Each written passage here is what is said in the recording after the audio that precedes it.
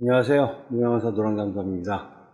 오늘은 무명 강사 또는 초보 강사 이런 거 관계없는 다른 이야기를 한번 해볼까 합니다.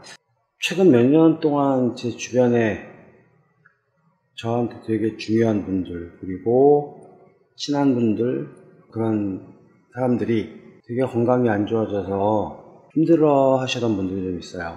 그분들을 보면서 제가 느꼈던 점들을 좀 이야기 좀 하려고요. 제 여동생이 3년 전에 직장암 판정을 받았어요. 시기적으로 좀 되게 미묘해서 여동생이 아프다는 걸 알게 된 게 제 아버지 돌아가시기 이틀 전인가 사흘 전에 알게 돼. 뭐 가족들한테 본의 아니게 이제 다른 가족들 어머니나 다른 가족들에게는 좀 숨겨야 되는 상황이 벌어지기도 했었고 되게 힘든 과정을 거쳤죠. 일단 뭐 수술도 해야 되고 뭐 항암 치료도 해야 되고 하다 보니까 어쨌든 힘든 과정을 거쳐서 뭐 아직 뭐 완치다까지는 아니지만 그래도 많이 좋아졌습니다. 사실 여동생 아파했던 걸 생각해 보면 저도 참 많이 힘들더라고요. 네, 그랬었습니다. 그리고 얼마 전에 되게 오랜만에 아는 동생에게서 전화가 왔어요. 알게 된 지 몇 년 안 됐는데 서로 마음도 잘 맞고 알고 보니 뭐 학교 후배고 뭐 이런저런 하더라고요. 그래서 이제 친하게 지내고 같이 뭐 사업적인 이야기도 좀 하고 인간적으로도 친하게 지냈는데 이 친구는 직업이 되게 독특합니다. 어, 전문 마술사예요. 한때 젊었을 때는 마술사로다가 이제 공연도 많이 하고 방송도 나가고 그랬었는데 나이를 먹으면서 이제 마술 장비들을 만들어서 어, 뭐 교육도 좀 하고 그런 쪽을 좀 했었고요. 그러다 나중에 이제 뭐 영화나 뭐 이런 데서 마술 쪽으로 다 관련돼서 일을 할 일이 있으면 하기도 하고 그리고 좀 사업적인 마인드가 있어서 사업을 좀 많이 다양하게 진행을 하고 그랬던 친구인데 재작년 이 친구도 비슷했던 시기였던 것 같아요. 제 동생보다 1년 전 작년 재작년 말에 제 동생 아프고 한 1년 정도 지나서였으니까 네. 갑자기 전화가 와가지고 한동안 이제 못 보고 있었거든요. 해외 사업 때문에 뭐 왔다 갔다 하고 그랬던 친구였는데 전화가 와가지고 형님 재밌는 얘기가 있어요 그러더라고 뭔데 그랬더니 저 암이래요 그러더라고요 그래가지고 농담하지 말라고 그런데 알고 봤더니 진짜더라고요 그래서 혈액암? 예 그래서 되게 힘들게 을 이겨내고 있었죠. 사실 그러고서 연락이 끊겼어요. 이제 이 친구는 자기가 힘드니까 연락 못했던 것도 있었을 것이고 제 입장에서는 안부 전화를 못 걸겠더라고요. 이게 좀 오래전 얘기는 합니다만 이제 30대 초반에 되게 좋아했던 후배가 되게 친하고 좋아하고 서로 마음 잘 맞고 그래서 진짜 학원을 뚫뚫하면서 같이 놀러 다니고 그랬던 후배가 한 명 있는데 이 후배가 암으로 세상을 떠났거든요. 사실은 이 친구가 암 투병한다고 들어가서 되게 힘들어하고 있을 때 저는 좀 바쁘다 보니까 사실 젊은 나이에 뭐 한참 뭐 일하러 돌아다녀야죠. 그러다 보니까 한동안 연락 못 하다가 오래간만에 좀 시간 여자 남길래 한번 만나려고 전화를 걸었어요. 그랬더니 어, 세상을 떠났더라고요. 그때 그랬던 경험이 있었는지 몰라도 아프다는 사람하고 연락이 끊기면 먼저 전화 못 하겠더라고요. 너무나도 반갑게도 어, 나흘 전에 먼저 전화가 왔어요. 이 마주사 후배한테서. 그래서 어떠냐? 그랬더니 일단 몸 많이 나아졌고, 물론 뭐 아직 완치는 아닙니다만 그 후배도 몸 많이 나아졌고, 지금은 조금씩 조금씩 일도 합니다. 그러더라고요. 다행히 네, 많이 좋아진 것 같아요. 목소리도 예전하고 다르게 되게 기운차 보이고, 그래서 그러면 빨리 한번 만나자라고 얘기를 했어요. 사실 뭐, 이 후배 같은 경우에는 집이 저랑 별로 멀지가 않아서, 사실 맘먹고 만나려고 하면 당장은 만날 수 있는데, 또 이제 뭐, 일이 있으니까 또 마음처럼 또 쉽게 만나게 되진 않지만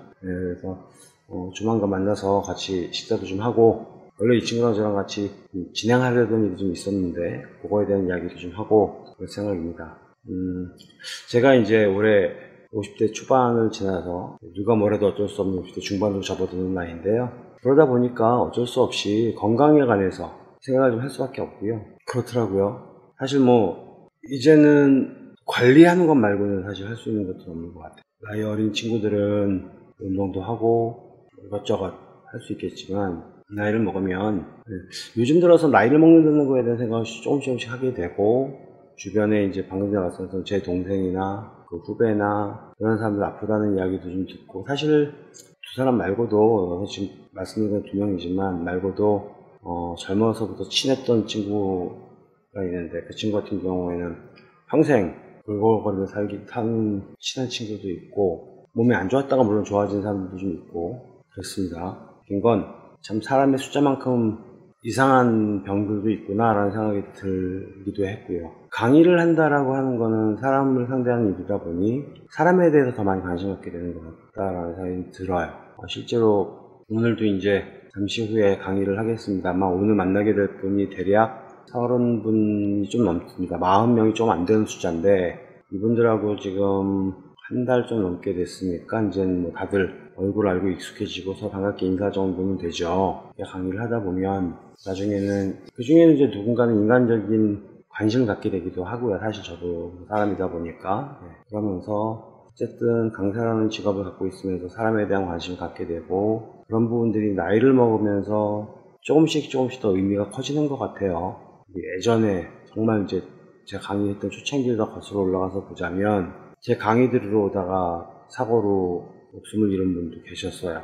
그리고 대학 강의를 할 때는 지금도 잊혀지지 않는 건 되게 건장한 젊은 청년이었는데 제가 대학에서 이제 교양 과목을 강의를 했을 때였는데 되게 성실하게 나오던 친구 갑자기 딱 안 나오더라고요. 그리고선 정말 뭐 어디에서 뭐 하는지 아무도 모를 정도로 갑자기 사라졌어요. 그래서 실종은 아니겠고 이게 무슨 일이야 막 그랬었는데 알 수가 없었죠. 교양 과목이니까 제가 뭐 전공 교수들만큼도 학생들하고 개별적으로 친해질 수 있는 상황도 아니었었고 그런데 2년인가 지나서 다시 나타났는데 교통사고를 당해서 어, 재활 치료하느라고 시간이 걸렸고 복학을 했대요. 근데 휠체어 타고 나타났더라고요. 반신불고 반신불수라고 하나요? 네, 그렇게 돼서 근데 다치기 전에 제 수업을 들을 때 되게 건장했고 농구도 좋아하고 운동 되게 좋아했던 친구였는데 그런 모습 나타나고 되게 충격받았던 게 네, 지금도 기억이 나는데 그래도 그 열정적인 눈매와 뭐 이런 것들은 변하지 않았다는 것 때문에 나름대로 마음의 위로를 삼는 네, 그런 어떤 적이 있었어요. 이제는 그 당시에는 그런 일들이 개별적인 사건으로다가 보였죠. 아 누가 아프다, 누가 다쳤다, 저 사람은 평생 저병을 가져가야 된다. 뭐 이런 것들 개별적인 사건들이었는데 나이를 먹다 보니까 이제는 뭐가 되느냐면 그게 개별적인 사건으로다가 받아들여지는 게 아니라 전체적인 어떤 흐름으로다가 내가 인간관계를 어떻게 해야 되는지, 내가 아는 사람들과 어떤 관계를 맺어야 되는지, 그들과 어떻게 보내야 하는지에 관한 다양한 고민을 하게 되는 그런 사건이 아닌, 예, 예. 뭐랄까, 관계에 관한 이야기라고 할까요? 뭐 전반적인 인간, 인간관 계에 대한 흐름, 또는 사람과의 인연을 맺는 것에 대한 어떤 중요함, 이런 쪽으로다가 생각을 하게 되네요. 이 영상을 보시는 분들이 얼마나 많이 계실지는 모르겠습니다. 사실 뭐 아직까지는 조회수가 몇십 번도 안 나오는 그런 작은 채널이기 때문에 영상을 보시는 분들이 얼마나 계실지 모르겠습니다만 한 가지 하고 싶은 얘기는 건강하세요. 그리고 행복하시고요. 제일 중요한 건 하루하루를 즐겁게 사는 게 제일 좋은 것 같아요. 예전에는 젊었을 때는 제가 의미 있는 오늘은 뭘 하고 보냈고 오늘 내가 오늘 하루를 어떻게 알차게 보냈고 이런 부분들에 많이 신경 썼거든요. 지금은 어떠냐면 하루를 얼마나 즐겁게 살았느냐, 얼마나 행복하게 보냈느냐, 얼마나 재미있게 보냈느냐가 더 중요하지 않나라는 생각을 하게 돼요. 나이를 먹으면서 저는 네, 인생의 의미를 결국에는 내가 얼마나 만족감이 높으냐에 달렸다고 생각을 하게 되더라고요.